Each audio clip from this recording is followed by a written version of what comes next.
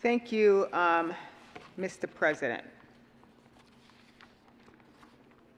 I want to thank my colleagues for the passionate and rich debate that we've been having on House Bill 1307. And when I think about my good colleague who, who sits on the Health and Human Services Committee from Douglas County, right? Yeah. I always appreciate the passion and the commitment and the tenacity that you bring to issues that, as it relates to health care issues. And so I want to thank you for that. And for my colleague who is on this side of the aisle, I also want to thank you from Jefferson County for the passion and dedication that you also brought to this topic. Whenever you stand on your position and your values and your beliefs, there's always a reaction to that. Sometimes it's good, sometimes it's bad, whatever. But I find that my colleagues don't waver. If they believe it, they believe it. If it's their value, their val- it's their values, and they're going to speak on it. So that's what I'm going to do right now. I'm supporting House Bill 1307. And the reason I'm supporting this bill is because I know that one in four Americans are on some type of prescription drug. And we look at people of color, a high number of people of- color are taking all kinds of prescription drugs. And some of it happens to be on insulin. And when you think about the cost of insulin, it has tripled the expense, as far as I'm concerned, that endangers people of color. Because if you look at the statistics, the majority of people who, who may be diabetic happen to be black,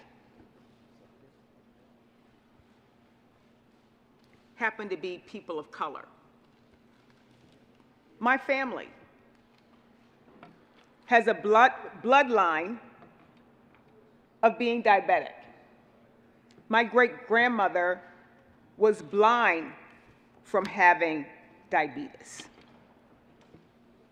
My mom had it. My mother had it. My father had it.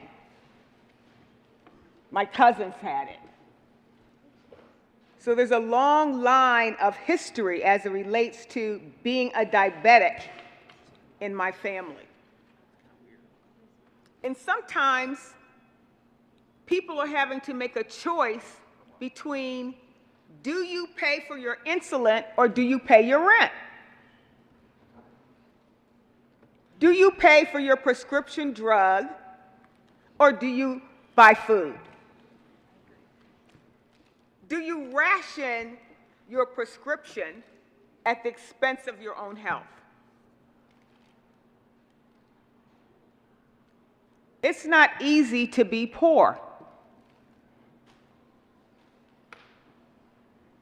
It's also not easy to be black.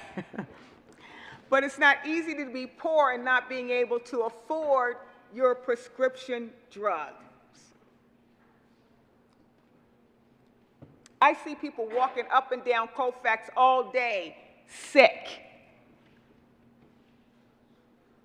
And so the senator from, from Douglas County, I appreciate your narrative as relates to why not cancer? Why not this? I, I think that those are good public policies that we need to present, but right now this bill is about the affordability as it relates to the prescription and the pricing and the access to to insulin. So when you heard the chair say things like, that doesn't fit under the bill title, because it didn't. But all the issues that you brought up have merit. They still need to be discussed. There are issues that need to be addressed. So I'm not here to say that those uh, concerns that you brought up are not relevant. Seven million people in America that have diabetes can't afford their prescription.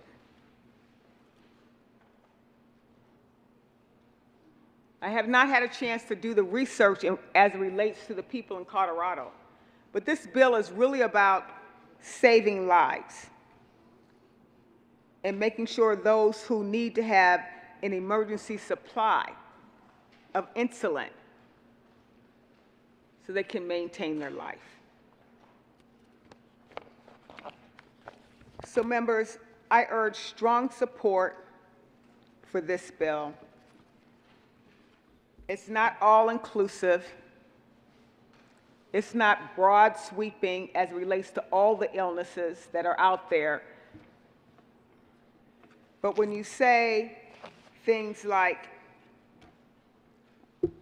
some of these corporations can't fund or support, there's already discounts, already. I know of hospitals, Anschutz, UC Health. If someone can't afford their prescription drugs, they find a way to give them access to the life-saving medication that they need. We live in a society that's about a social contract. That's about doing the common good. And sometimes the common good means that corporations have to give back to society. Because not everybody is privileged.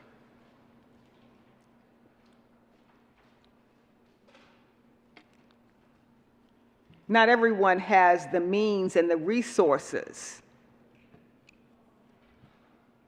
to buy their medication. Read the bill. The way I read it, it's not complicated, it's not burdensome, it's reasonable, and many of these organizations and um, companies are doing it already.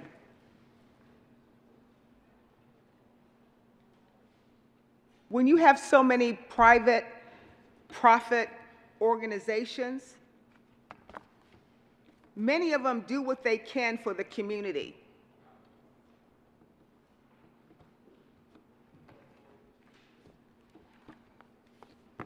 It could be a food bank. It could be providing insulin. There is a sense of social responsibility. As a private organization, that we give back to those who are less fortunate.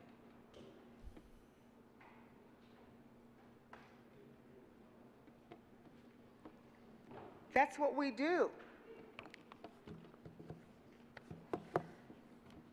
And that's okay.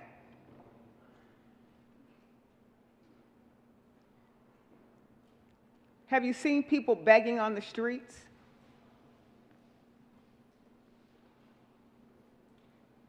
Some people might give them 10 cents or a dollar. We have people that have all kinds of needs out there. It's okay for private organizations to give to people who don't have the resources to give. Would the good senator from Arapahoe County like to be extended to your next 10 minutes? I'm done, Mr. President. Thank you for the time.